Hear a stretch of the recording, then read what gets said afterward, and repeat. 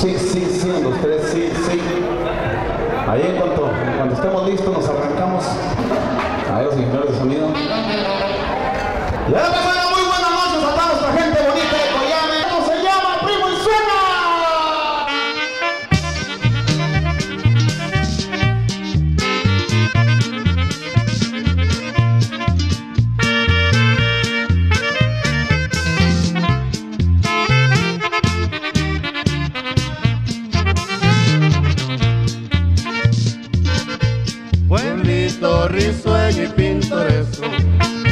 Chihuahua es parte del estado.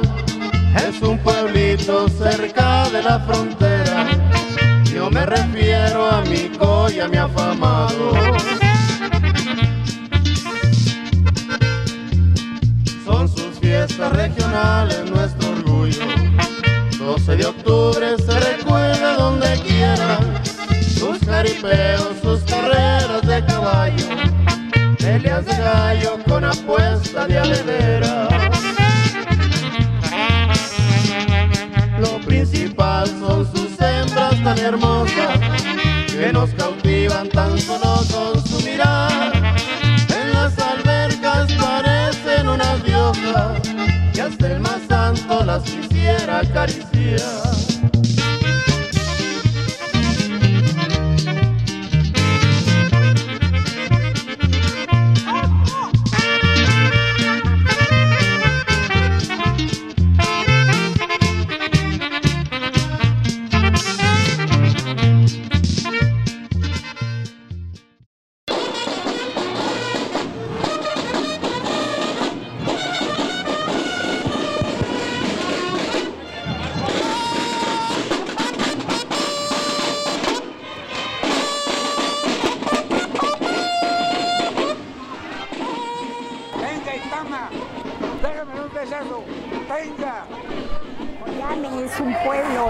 Indígena.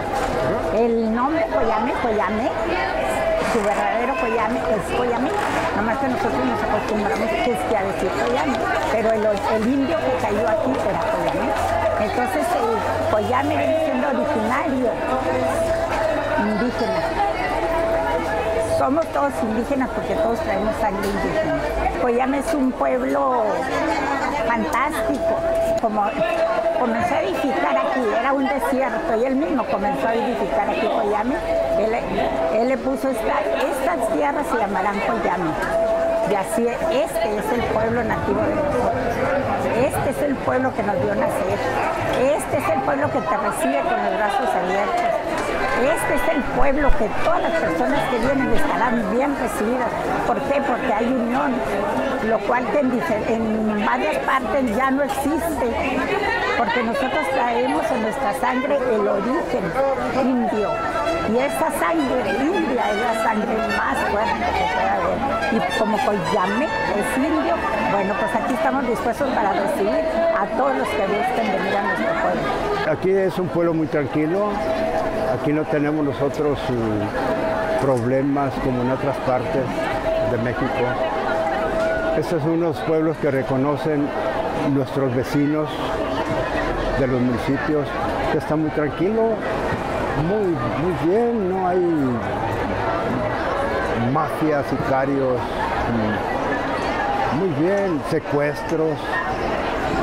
Está reconocido aquí, Coyame, por las autoridades vecinas, vamos a decir.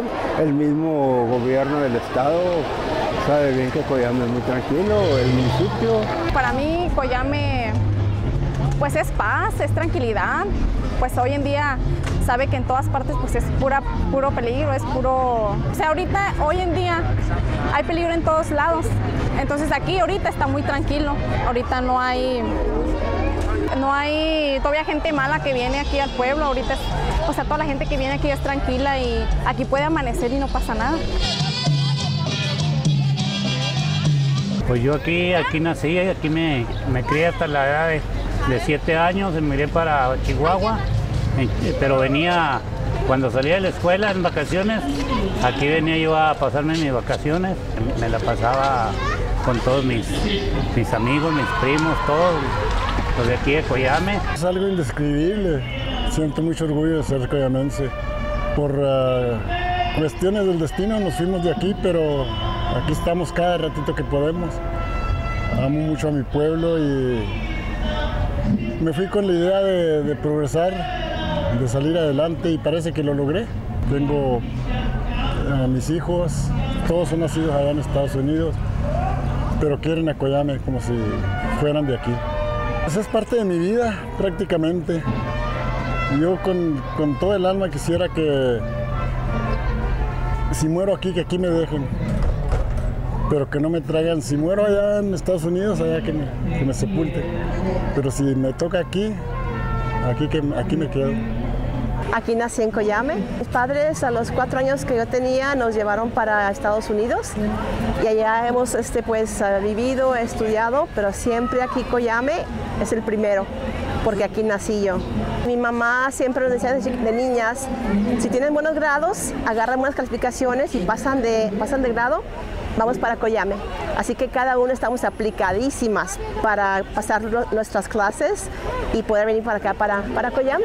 Tengo hijos, ellos tienen sus actividades, tienen sus carreras allá en Estados Unidos, pero siempre les digo, como el pueblo de uno no hay dos y aunque ellos no nacieron aquí, yo nací aquí y saben que el amor que le tengo a Coyame es grandísimo y este, se van a Facebook ellos y ven todo lo de Coyame, uh, platican con amistades de, Facebook que son de Coyame. He vivido aquí toda mi vida desde que nací y hace apenas uh, unos cinco años me mudé, cuando me casé, me mudé a vivir a Estados Unidos, en Odessa, Texas.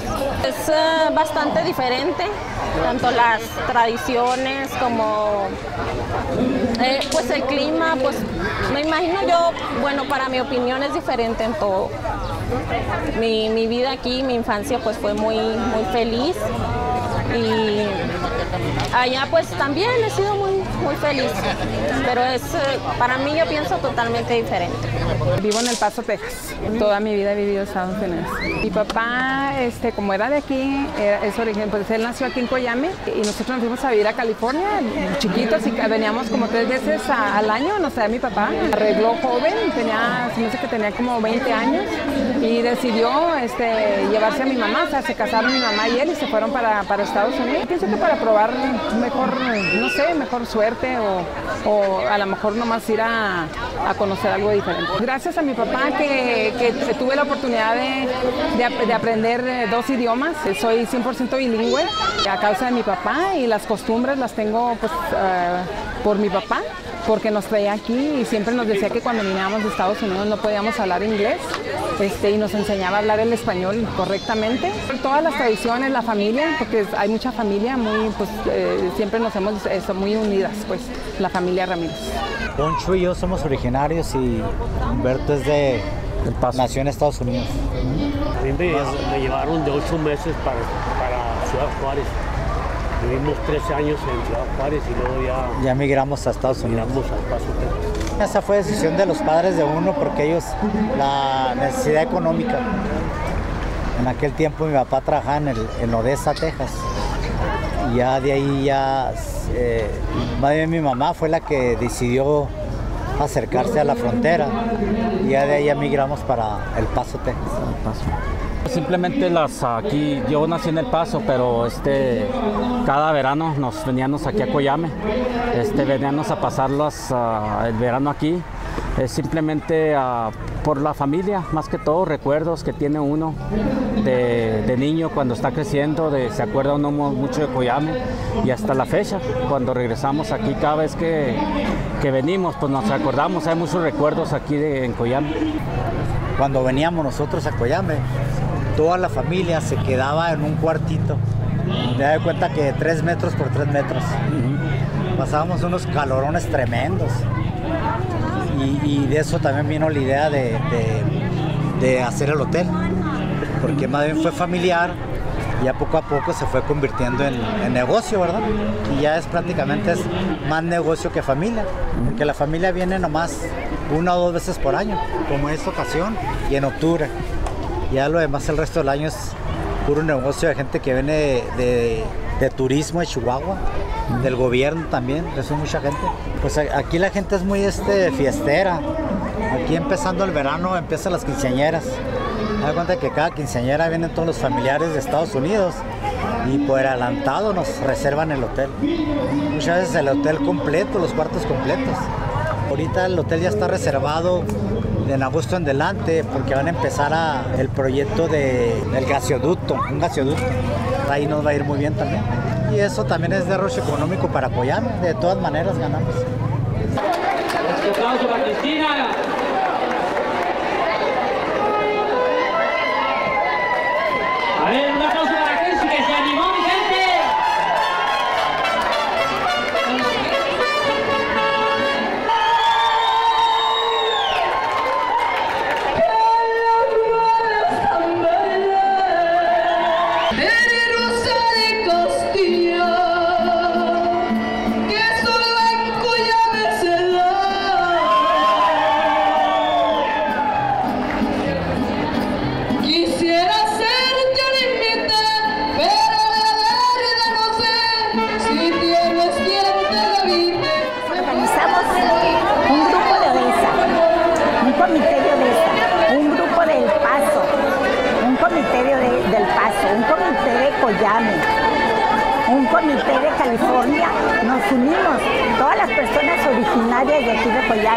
Porque estamos lejos, pero estamos unidos. El comité de aquí de Coyame estamos dispuestos para los diferentes comités.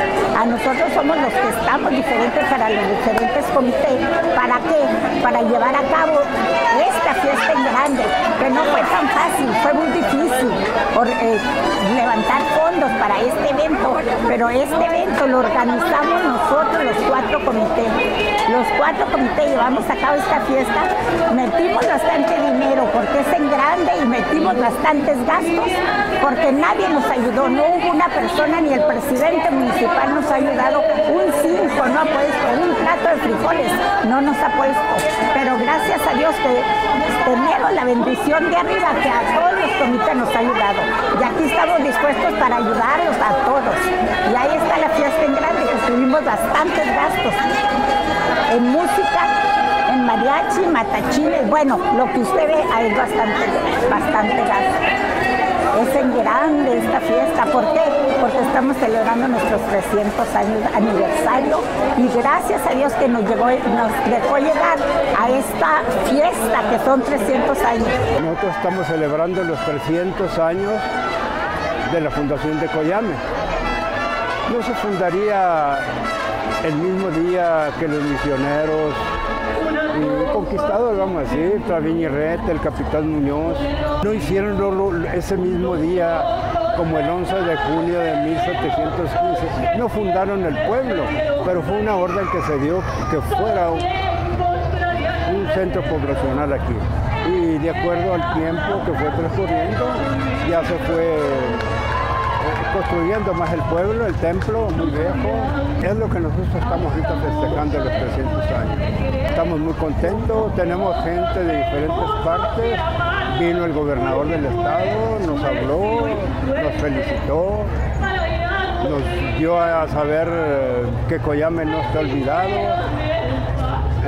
Como el gobierno menciona, tanto el federal como el estatal, esto, el desierto olvidado de Chihuahua, el desierto olvidado, y ahora por lo que veo ya pusieron atención al desierto olvidado, que somos nosotros, parte, Ojinaga, Benavides, algunos municipios. Coyame estaba enfermo de necesidades y los gobiernos que ha habido están inyectándole buenas medicinas a ciudades, a poblaciones que no necesitan, no están enfermos, no están enfermos y allá le aplican la mejor medicina, que son obras, fábricas, todo eso. Y aquí, aquí a nosotros nos daban pura mejoral, yo creo, nomás para medio mantenernos. Ahora no, Coyame no está tan enfermo porque ya las autoridades nos están dando mejores medicamentos. Yo comparo más o menos poblaciones enfermas y poblaciones que no están enfermas, pues tienen todo. Y nosotros ya cambió, hay clínica, hay servicios, tenemos ambulancia. Coyame tiene muchas necesidades. Para empezar, Coyame no tiene pues no tiene fuentes de trabajo, no hay empleos. Realmente aquí pues nada más es la presidencia municipal. Es por ello que la gente, nosotros nos vamos y con el tiempo pues volvemos porque la gente que viene a Coyame pues ya no se quiere ir. Usted va a otras partes y usted sabe que tranquilidad pues ya no hay. Y aquí sobre todo pues la tranquilidad es lo primero. En las fechas importantes es cuando baja la gente de Estados Unidos y viene gente de, pues, de Chihuahua, de otras partes a, a convivir aquí al pueblo. Porque pues realmente aquí en, en Coyame, como dicen por ahí, todos los que pisan Coyame vuelven otra vez a Coyame.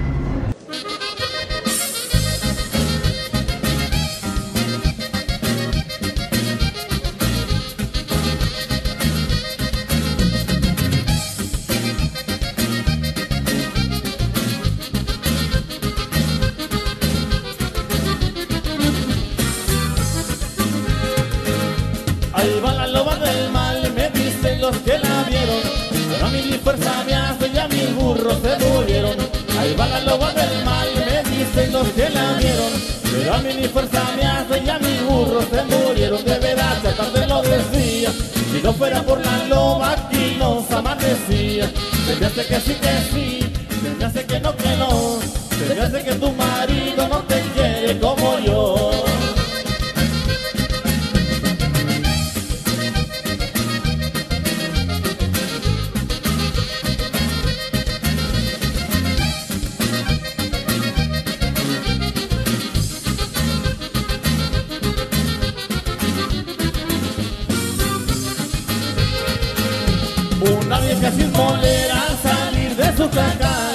Dijo a su compañero, ahí va la loba del mal.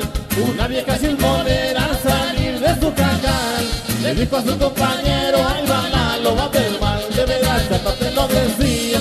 Si no fuera por la loba aquí nos amanecía. Se me hace que sí, que sí Se me hace que no, que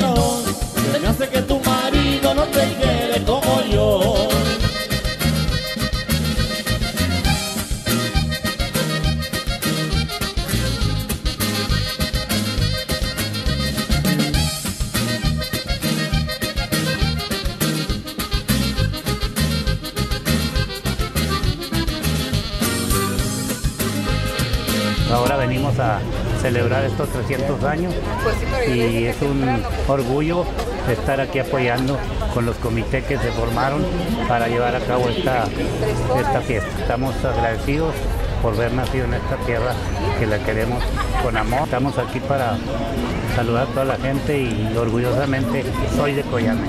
Yo leí en un libro una novela de un individuo que nació en México y nacimos en casa. Yo nací en casa, la casa de mi mamá está para allá, para aquel lado. Ya la, vendió luego, luego ella en cuanto se fue para allá. Pero me contó mi hermana que nacemos en casa y que las parteras, ¿verdad? Lo que, lo que saca la placenta, que la entierran en el corral de atrás. Soy yo lo que digo hoy en día, que también lo leí de alguien más, digo, bueno, la placenta me jala porque ahí está en el corral de mi, de mi casa. Y hasta hago bromas que digo, pues hay una, hay una lila ahí, y se ven así que nacen así placentitas, son mías porque mi placenta está ahí. La placenta me jala. Originaria, nacida, con ombligo enterrado aquí. arriba mi pueblo, arriba Coyame, se siente una orgullosa por la gratitud de la gente, por la unidad, por la unión, porque Coyame es Coyame, Coyame, Santiago de Coyame, que ahora originariamente es Santiago del Sotol.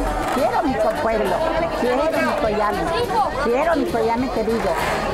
Nos fuimos pero regresamos, aquí estamos. La mitad de mi vida vivimos allá y, regresamos a nuestro pueblo natal. Tengo una tiendita, mercería. Estoy activa diario. Ahí estoy dispuesta para lo que necesiten. Coyame significa mi vida, mi vida. Aquí, aquí viví con mis papás. Gracias a Dios todavía vivo en la cajita vieja de mis papás. Y, y tranquilo, yo vengo a Coyame y veo mis mismas gentes, ya están difuntas, pero veo la casa donde vivía tal señor y el otro. Y, y es como si los viera, no fantasmas, Pero digo, aquí vivía fulano. Señores ya, algunos duraron 100 años. A no- todos nosotros nos tocó tres siglos. Yo no nací en 1800, pero yo conocí mucha gente que nació en 1800. Yo la conocí, ese es un siglo. En 1900 yo nací y conozco toda la gente que nació en 1900. Esos son dos siglos. Y conozco gente que nació en el 2000.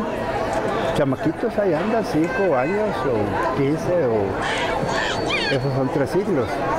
E- Eso me sirve a mí como de terapia, acordarme de todos esos señores, viejitas. Aquí oraba mucho la gente, porque según ellos tomaban puro atole de maíz, puro atole de maíz, y, y- y ese daba fuerzas. Eso me platicaban a mí. Yo también tomé eso, atole de maíz. Duraron 100 años fácil. Mire, aquí hay un señor que hace poco le festejaron 100 años. Hicieron padre, a gusto en Coyame y volvería a Coyame. Sé su historia. Sé del desarrollo del 1945 para acá hasta esta fecha, cómo se ha ido Coyame transformando poco a poquito. Lo veo, me da gusto ver su- sus calles pavimentadas. Agua muy buena, agua potable, carretera, como dije ahorita. Coyame es la vida. Y México es la vida.